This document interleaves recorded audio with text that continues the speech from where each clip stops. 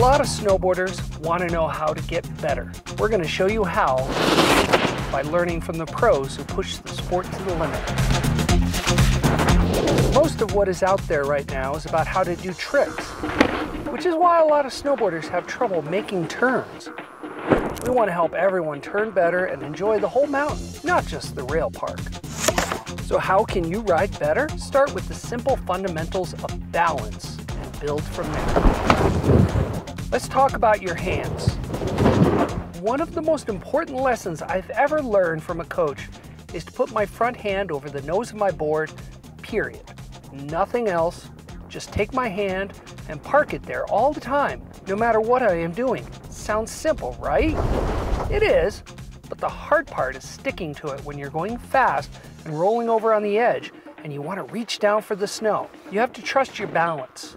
Here is some video of pro snowboard racers using their front hand while racing at top speed.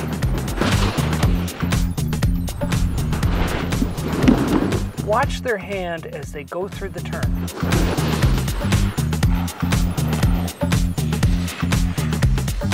And then here's my daughter. Mm, yeah. Who's six years old using her front hand. Hand over the nose, there you go. Here's Katie Tsuyuki using it in the half pipe.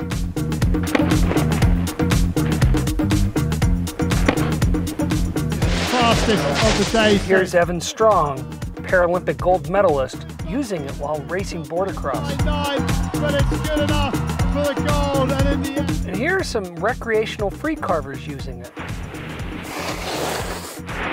And here's what happens when your hand is not over the nose.